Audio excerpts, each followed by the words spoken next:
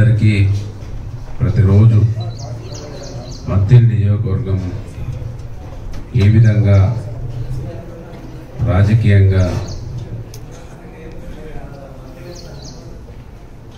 ఈ నియోజకవర్గంలో వ్యవహార శైలి కాంగ్రెస్ పార్టీది ఉన్నదో అనేక సందర్భాలలో కాంగ్రెస్ పార్టీ నియోజకవర్గంలో ప్రజలను వాడుకొని ప్రజలను ఓటు వేసే యంత్రాలుగా మాత్రమే చూసి ప్రజల సమస్యలు పట్టించుకున్నటువంటి కాంగ్రెస్ పార్టీని పదే పదే చెప్తా ఉన్నాం. దానికి నిలుంటెత్తు సాక్ష్యం ఈ నియోజకవర్గంలో ఇవాళ ప్రాతినిధ్యం వహిస్తున్నటువంటి కాంగ్రెస్ పార్టీ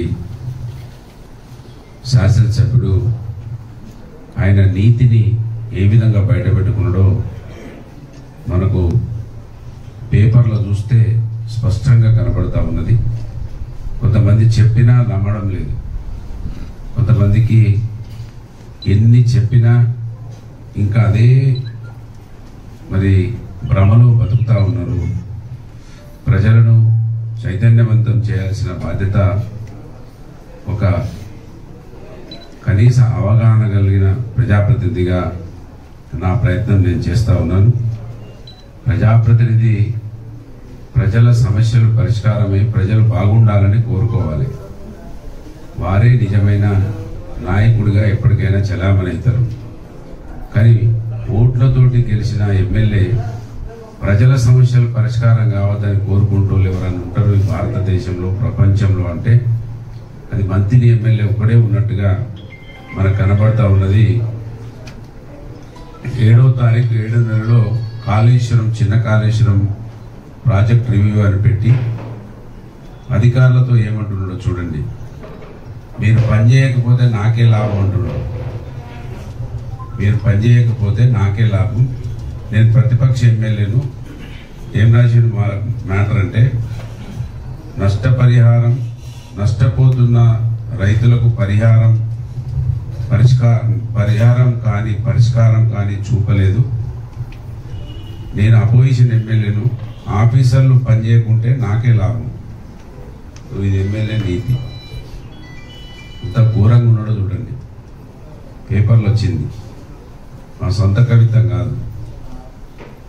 ఇది పేపర్లు వచ్చింది మీరు కూడా చూస్తే ఏడో తారీఖు ఏడో నెల. మీటింగ్ అయితే ఎనిమిదో తారీఖు నాడు వచ్చింది పేపర్లో. అది కలెక్టర్ సమక్షంలో కలెక్టర్ కూడా ఉన్నాడు. ఇటువంటి ఎమ్మెల్యే ఉండడం వలన ఎంత ప్రమాదాన్ని మనం కొని తెచ్చుకున్నామో ప్రజలు ఇప్పటికైనా ఆలోచించమని వట్టిగానే అసెంబ్లీలో మాట్లాడినట్టు చేసుడు. చిన్న కాళేశ్వరం ఏమైందని అసెంబ్లీలో మాట్లాడినట్టు చేసుడు. ఇక్కడ అధికారులను పనిచేయకని చెప్పుడు. ఈయన మనకు నాలుగోసారి ఎమ్మెల్యే. ఏదన్నా చెప్తే దీనికి జవాబు చెప్పారు మళ్ళీ కాంగ్రెస్ పార్టీలో. వేరే విషయాన్ని మళ్ళీ మాట్లాడతారు. దీనికి జవాబు చెప్పమంటే చెప్పరు. మీరు అధికార పార్టీ కదా మీరే చేయాలి కదా. మా పని మేము చేస్తున్నాం మీ పని మీరు చేయాలి. అది రాజ్యాంగంలో రాసి కదా అది చెప్పరు మళ్ళా. కనుక ఇటువంటి ఎమ్మెల్యే ఉండడం ఇది మంత్రి నియోజకవర్గంలో ఎక్కువ శాతం ఉన్న బీసీలు ఎస్సీలు మైనార్టీలు ఎస్టీలు ఇటువంటి ఎమ్మెల్యేని గెలిపించుకోవడం వలన మనం ఎక్కువ సంఖ్యలో ఉన్న మనం ఇంకా అభివృద్ధి చెందాల్సిన మనం ఇటువంటి ఎమ్మెల్యే ఉండడం వలన అనగారిపోతా ఉన్నాం. అర్థం చేసుకోండి. ఎమ్మెల్యేకు ఇక్కడ వ్యవసాయం చేయడు. ఆయనకి ఇల్లు ఉండదు. ఇల్లు ఏదో విలాసవంతమైన ఒక గంట సేపు పడుకోవడానికి ఒక డూప్లెక్స్ కట్టుకున్నాడు కానీ హైదరాబాద్లో మన ధన్వాడలో ఒకటి మంత్రిలో ఒకటి. ఫ్యామిలీ ఉండదు. కుటుంబం ఉండదు. ఎందుకు మన మీద ప్రేమ ఉంటుంది? పని కాకుండా లాభం అవుతుంది అంటే ఎవరైనా ఉంటారా ఈ ప్రపంచంలో? అంటే శవాల మీద పేవలాలనుక తింటోళ్ళు ఎవరంటే ఈయన చూపించరాదా మనం? ఒకసారి ఆలోచన చేయండి. ఎంత ఘోరమైన మాట ఇది. లోపల ఉన్న మనసులో ఉన్న మాట బయటికి వచ్చింది. ఎంతసేపు ఓట్లు వస్తే మళ్ళీ ఏదో ఒకటి పెట్టి గెలవాలి. అయితే పైసలు పంచాలి. లేకపోతే అధికార పార్టీ వాళ్ళని ఏదో ఒకటి బదనాలు చేయాలి. రెండు వేల ఎనిమిదిలో ఆయనే మొదలుపెట్టిండు. రెండు వేల పద్నాలుగు దాకా ఆయనే మంత్రి ఉన్నాడు. అప్పుడు పనిచేయలే ఇప్పుడు పని చేయకని చెప్తాడు. ఇక ఈయనను మనం గెలిపించాం నాలుగు సార్లు గెలిపించినాం. ఇక మళ్ళీ నాలుగు సార్లు మా సార్ దేవుడు కనుకనే గెలిపించిందని ఆయన ఎంబడి ఉంటోళ్ళు అంటారు. దేవుళ్ళని ఇసుంటోళ్ళు ఉంటారు. దేవుళ్ళ మీద. కనుక ఇవన్నీ కూడా ఆలోచించమని కోరుతా ఉన్నాం.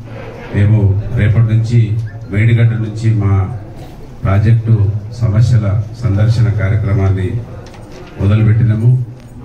ఖచ్చితంగా ప్రభుత్వ అధికారులు ఏ విధంగా ప్ర గవర్నమెంట్ దృష్టికి ఏమేమి తీసుకుపోయినరు ఇంకేం తీసుకుపోవాల్సి ఉన్నదో రేపటి నుంచి మేడిగడ్డ నుంచి మా మా భూ భూ సమస్యల పరిష్కార ప్రయత్నం కార్యక్రమాన్ని అంబడిపల్లి మేడిగడ్డ నుంచి మొదలుకొని రేపు పూసుపల్లి దాకా సూరారం బెంగళూరు ఎల్కేశ్వరం బొమ్మాపూర్ బ్రాహ్మణపల్లి మాదేపూర్ ఎడపల్లి కుదురుపల్లి వీరసాగర్ కన్నెపల్లి కాళేశ్వరం పూసుకువెల్లి దాకా రేపు మా కార్యక్రమం ఉంటుంది. మళ్ళీ ఎల్లుండి గుంట్లం నుంచి స్టార్ట్ అవుతుంది అక్కడ నుంచి దాదాపు గంగారం వరకు ఎల్లుండి కార్యక్రమం.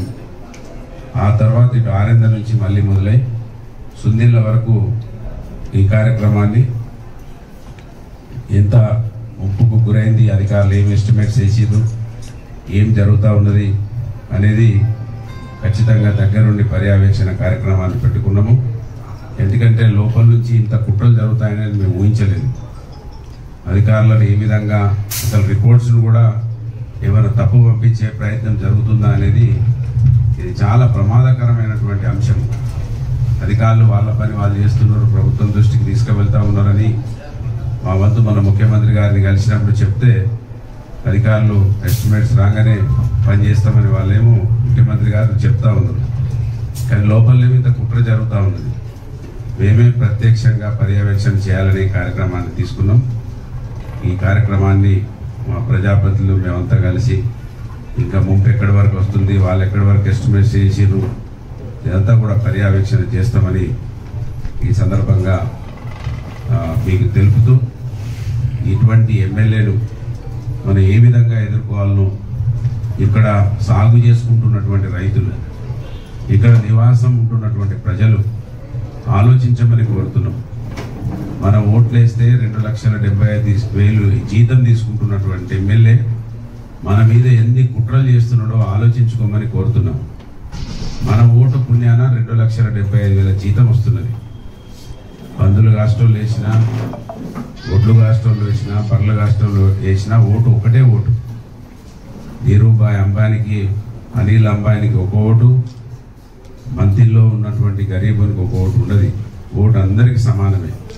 మన ఓట్లతోటి గెలిచిన ఎమ్మెల్యే మన కీడు కోడుతున్నటువంటి మనిషిని మనం జాగ్రత్తగా పరిశీలన చేయాలని మరొకసారి కూడా కోరుతూ రేపటి నుంచి జరిగే కార్యక్రమంలో మా ప్రజాప్రతినిధులు అందరూ ఉండి ఏ విధంగా మనం వాటిని పరిష్కరించే ప్రయత్నము ప్రభుత్వం దృష్టి దృష్టికి తీసుకెళ్ళి పూర్తి చేస్తాము ఆలోచన కోసం మీరందరూ కూడా రావాలని కోరుతా ఉన్నాం. జై తెలంగాణ.